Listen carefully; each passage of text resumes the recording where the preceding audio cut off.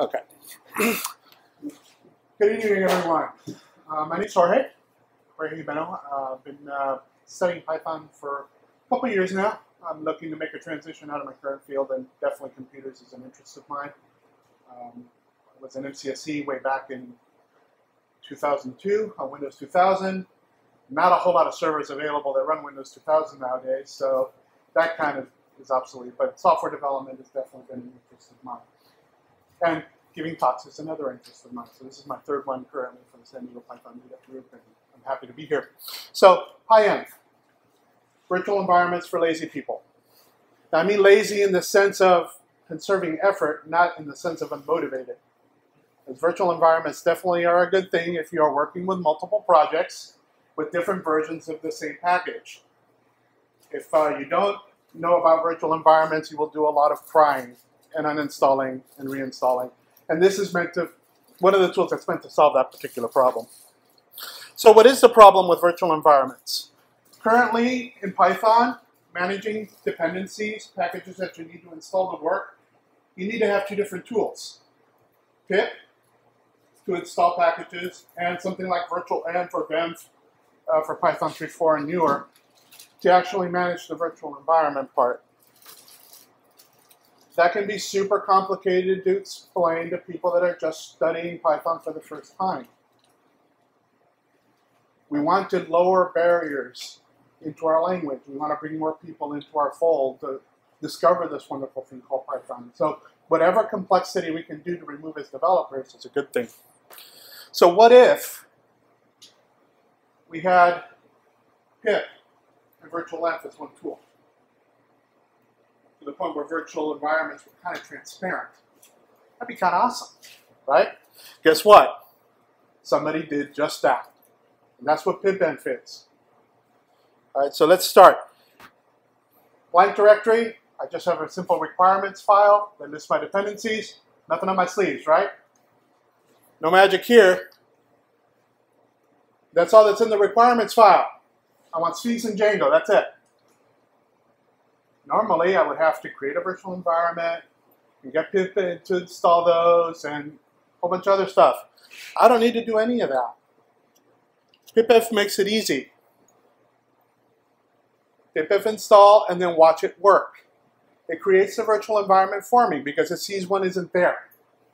It installs the dependencies for me. And then at the very end, it says to activate the virtual environment, run the following, pipenv shell. That's all there is to it. Super, super, super easy. So if we type pipenv shell, I don't have to worry about modifying my bash RC file. I don't have to download a second package so that I can abstract the first package. It'll create the virtual environment for me. And like most virtual environment managers, you'll see that the name of the virtual environment is prepended to the prompt. That's how you know you're in a virtual environment instead of in your system Python. Right? And so how can we test to make sure that we're in our, we have those packages installed? There they are. There they are. So, but how do we tell what installed what? Right? I, I only asked for two things, and I got all this. So where did those other packages come from? pipenv has another tool called pipenv graph that will kind of organize your dependencies for you so you see what installed what and what the requirements were. If you've ever had an issue with a conflict between dependencies, you will know how useful this thing can be. Now there's a lot of other things that pipenv can do. I suggest that you read the documentation and read the docs. Um, it's also uh, listed as a resource in the Python Packaging Authority as of a couple of months ago, I believe.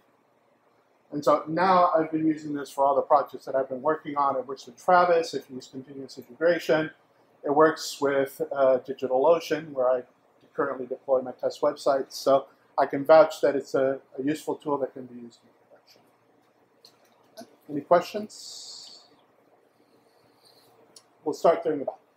Can you specify module versions in the requirements file? Yes, you can.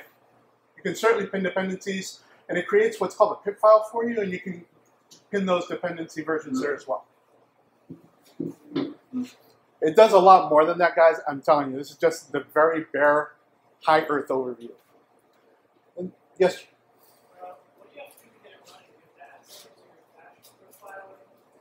no, it's pip install pipenv.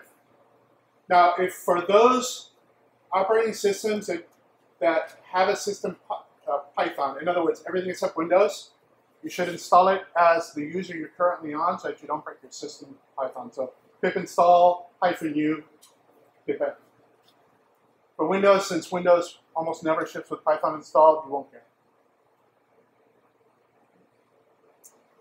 So you have Python 2.7 and 3 installed at the same time in the problem. Yes.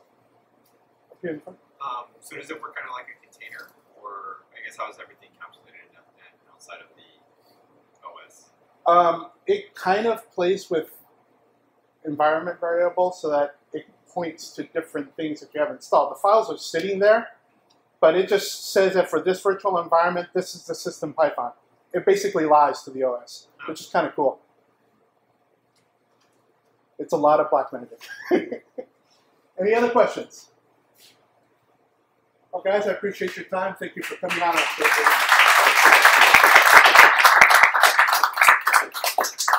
You need, need me to clear anything? No. No, Lisa, you're next. Are you going to do your own laptop? Um, I would prefer that, yeah. Okay. I will unplug.